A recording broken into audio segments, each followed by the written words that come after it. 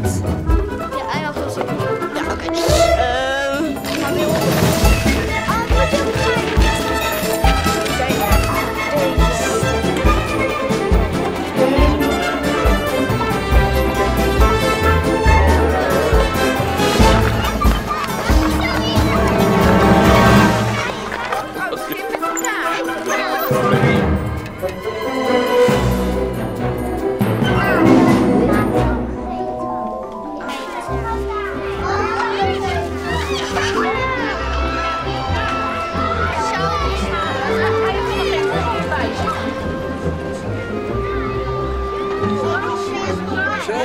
Wij bedenken allemaal poertjes, en breuntjes.